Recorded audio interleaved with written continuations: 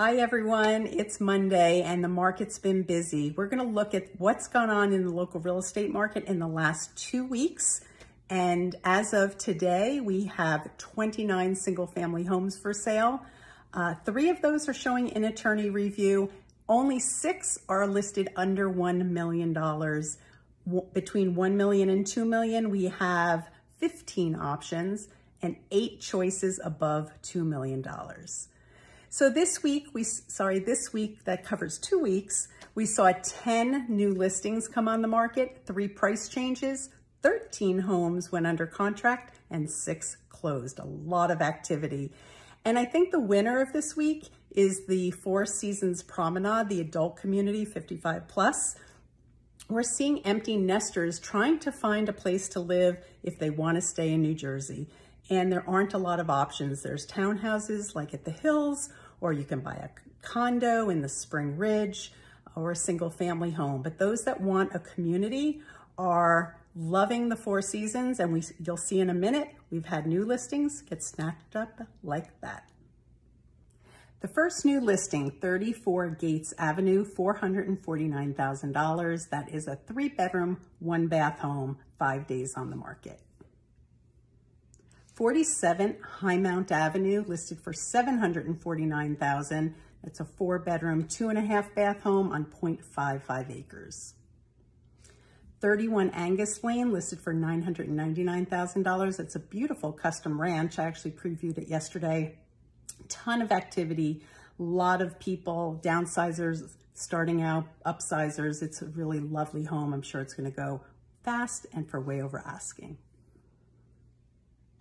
44 Betsy Ross Drive. That is one of the properties in the Four Seasons Promenade here in Warren, listed for $1,195,000. It came on nine days ago and it's already in attorney review. 23 Avon Road, that's also in the Four Seasons Promenade, listed for $1,475,000, nine days on the market and already in attorney review. 13 Whispering Way, that's a luxury home, a six bedroom, five full bath on 0.92 acres, listed for $1,550,000.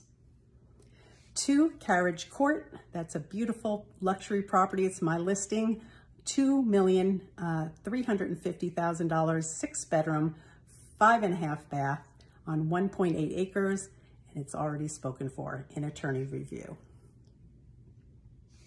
Six Wexford Court, listed for $2,750,000. A five bedroom, five and a half bath home, beautiful backyard, pool oasis, um, 5,700 square feet. Um, that's been on the market for about 13 days. 14 Catherine Drive listed for $825,000. That was sold pre off market. So that is actually already under contract and closed. So it kind of came on under contract and closed because it was sold before distribution. And lastly, 68 Betsy Ross Drive, a third property in the 55 plus development, $1,195,000. That was listed about nine days ago and it's already under contract. So already past attorney review and under contract. There were three price reductions this week. First one is 44 Skyline Drive, beautiful street, four bedrooms, three baths, originally listed for 1.2 million. It's now down to a million forty thousand.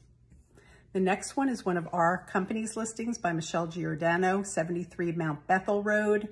A new construction, brand new, uh, five bedrooms, five and a half baths, a big price reduction, now down to $1,325,000. It's a bargain for the square footage and the new construction. Check it out. And finally, 17 Darkwood Court, um, originally listed for $1,599,000. It's now listed for $1,525,000. Over the last two weeks, there were 13 homes that went under contract. I'm not gonna go over each one, make this video too long, but I'll provide a link so you can take a look at those details. Let's look at what closed over the last two weeks. There were six options besides the one that I mentioned earlier, 14 Catherine Drive. The first one is 82 Old Smalley Town Road, listed for $875,000. $1,079,000 and closed for $900,000.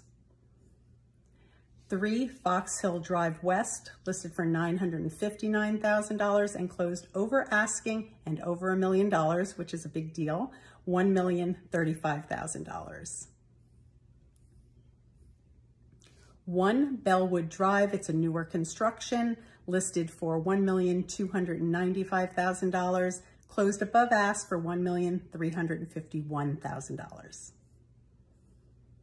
27 Chesterfield Drive in Warren Chase Development, listed for $1,400,000, and it was sold before distribution, closed for $1,400,000.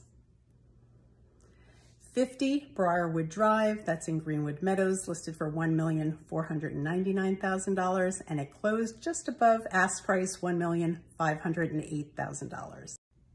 A lot to share today. I hope you followed along. If I can answer any specific questions you have, please reach out directly. Otherwise, I'll see you next week. Take care.